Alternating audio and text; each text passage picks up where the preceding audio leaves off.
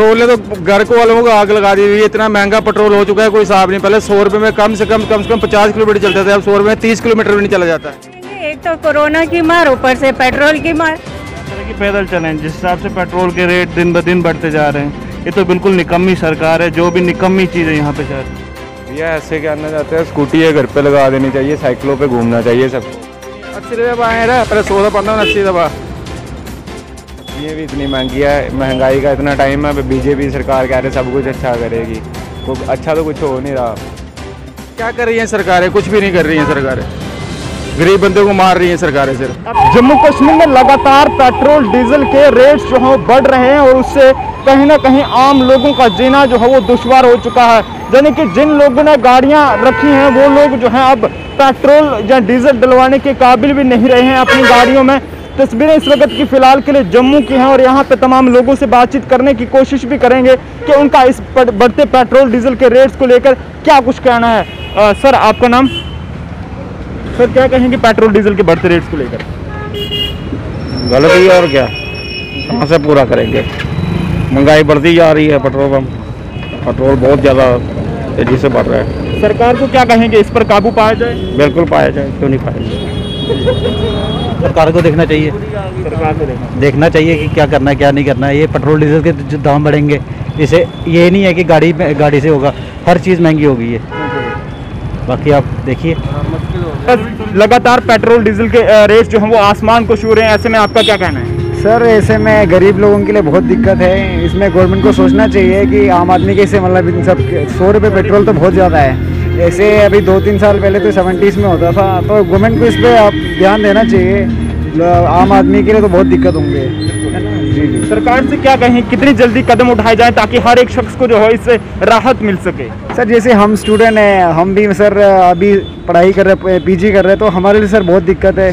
और सरकार को मतलब सरकार को इस चीज़ में नहीं सिर्फ़ पेट्रोल की चीज़ में नहीं बाकी चीज़ों में भी सोचना चाहिए। हर चीज़ में हर चीज़ में महँगाई हुआ है। जब से मतलब क्या कहूँ अब लॉकडाउन ये जो स्टार्ट हुआ है तब से बहुत दिक्कतें हुए हैं तो गवर्नमेंट को सोचना चाहिए। जी। जी जी।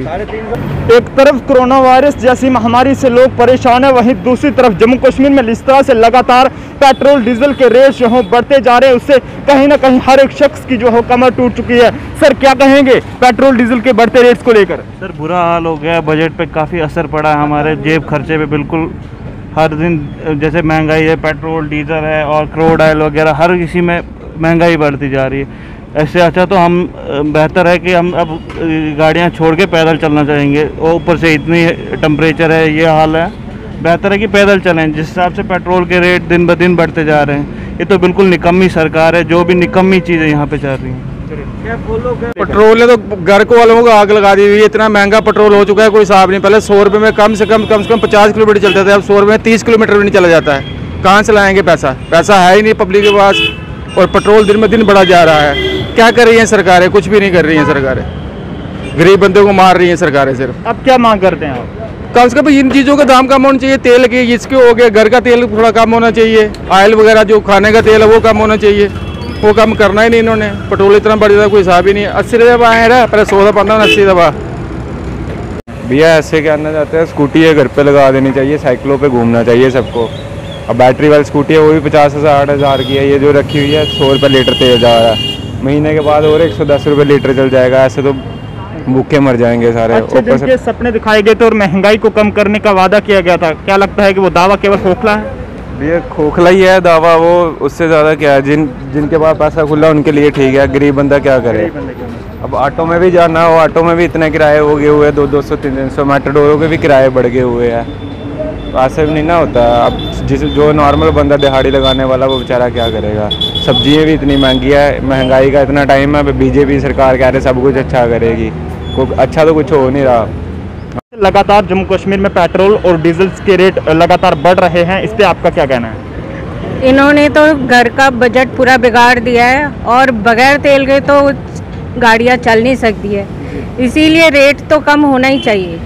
ताकि हर किसी का घर चल सके गाड़ियाँ चल सके। मैम एक तरफ़ लोग कोरोना वायरस जैसी महामारी से परेशान है ऐसे में दूसरी तरफ़ रेट्स जो है वो पेट्रोल डीजल या किसी तरह की महँगाई वो लगातार उस पर जो है बढ़ती जा रही है तो क्या कहेंगे? उस पर यही कहेंगे एक तो कोरोना की मार ऊपर से पेट्रोल की मार।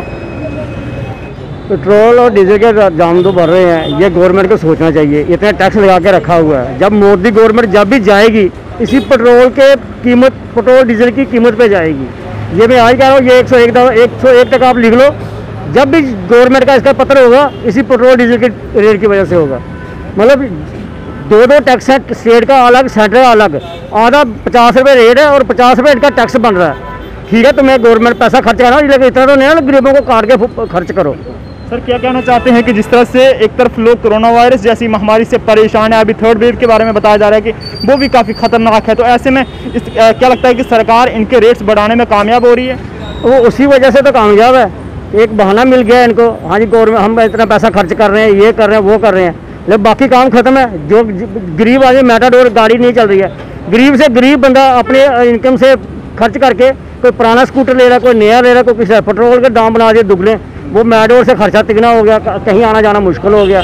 काम काज है नहीं। जो दिहाड़ी का लगाने वाला बंदा, जो बिजनेसमैन बंदा, वो तो मरा हुआ है।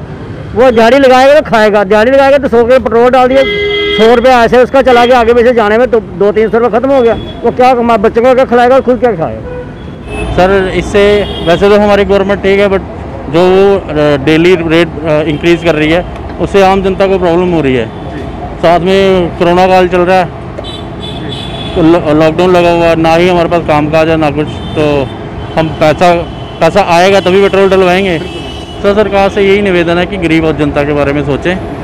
ज़्यादा से ज़्यादा उनका ध्यान रखें। जैसे पेट्रोल के दाम ऊपर जा रहे हैं।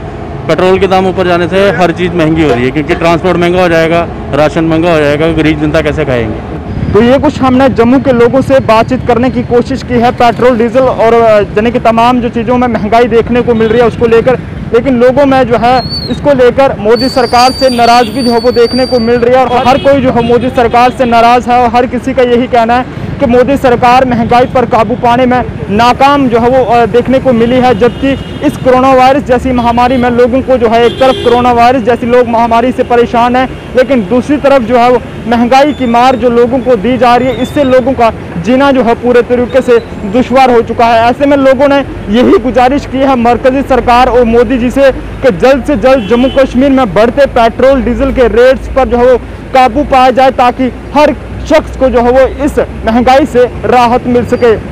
कैमरा पर्सन निकलेश अरोड़ा के साथ नरेंद्र सिंह ठाकुर परफेक्ट टाइमलाइन जम्मू।